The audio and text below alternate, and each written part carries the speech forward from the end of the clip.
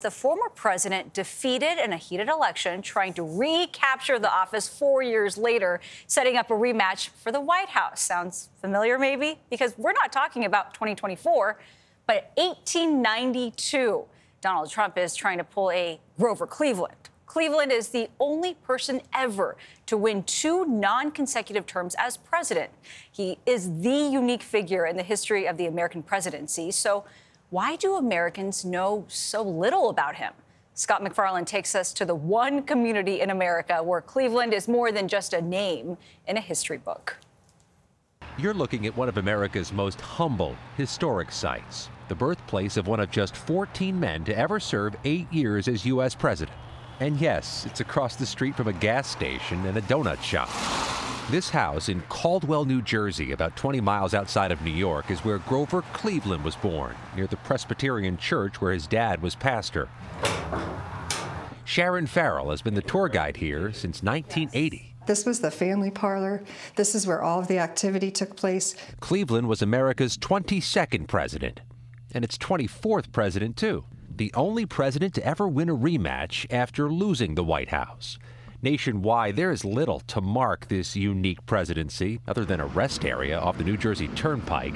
Caldwell also has the Grover Cleveland Apartments and Grover Cleveland Park, Middle School, even this parking spot. But Cleveland is beloved here in Caldwell, including by Carlos Pomares, who says 130 years later, Cleveland was his inspiration to run for the local county commission. Sure did. How could you not be inspired? The guy had this meteoric rise in a matter of four years based on just being a hard worker, honest, brutally honest at times, yeah.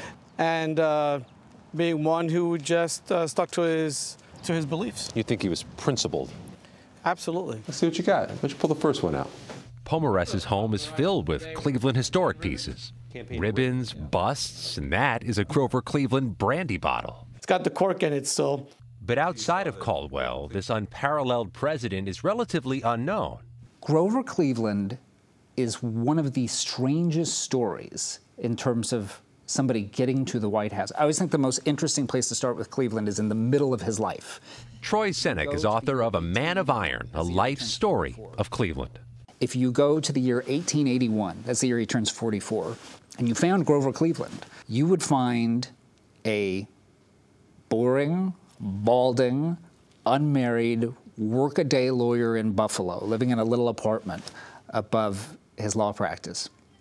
The only reason that any of this is interesting is I'm describing to you somebody who's three years away from becoming the President of the United States.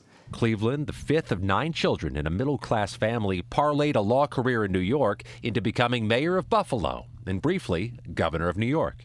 Viewed as principled and ethical, Cleveland was drafted by Democratic Party bosses to run for president amid an era of corruption, patronage, and unethical power brokers. He won, making history, but not headlines.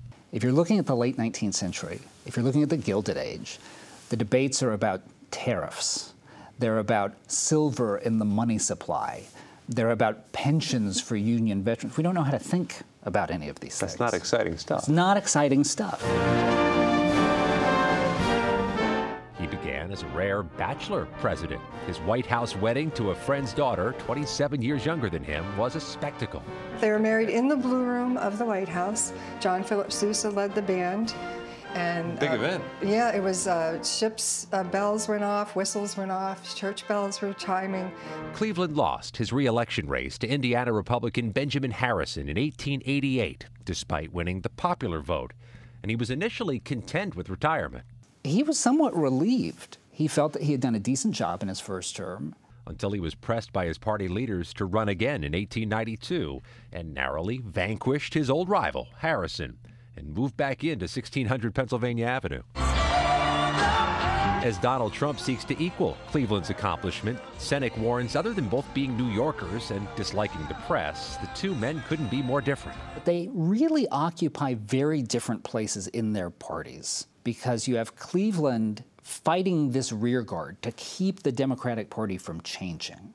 And Trump is on the opposite side of this equation. He is leading the populist insurgency in the Republican Party. So Trump's a revolutionary. Cleveland is a counter revolutionary. Though Cleveland's new First Lady foreshadowed the comeback in the final days of her husband's first term. She tells a member of the domestic staff in the White House make sure that you pack up everything very carefully because we want it to be just where we remember it when we come back.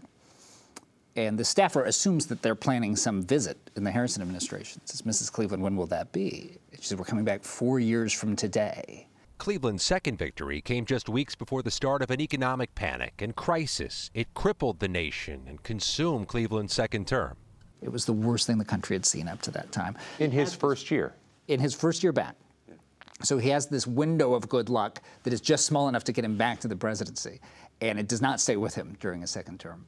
Pomares says Cleveland may not have made a dent in the history books, but he made Washington a more honest place. Why does nobody else talk about him? Because he wasn't flashy. he wasn't, he wasn't a about me kind of guy. We'll find out in November if Grover Cleveland's unique historic accomplishment is matched. But until then, and perhaps after, he will remain an obscure former president whose historic site is humbly next to a gas station and donut shop. For CBS Saturday Morning, Scott MacFarlane, Caldwell, New Jersey. I love the Grove. Mostly because he served as mayor of Buffalo. Hmm. But we were talking about some other really interesting facts. He's the first Democrat elected president after the Civil War. Sure. He won the Electoral College three times, hmm. not just twice, but lost one, won the popular vote, I should say, three times, but lost one of those because he lost the Electoral College. I'm just an interesting guy. Fascinating history. You know what I know? What? That Exxon gas station. I ran out of gas nearby. Did you really? They were really Did you stop? Did you go to the at Dunkin' I- afterward? Did you stop at I've the been at Dunkin'? Dunkin', of course. Okay, well, Yeah. next time you got to also, It's a twofer. you know, pay some honor to the Cleve.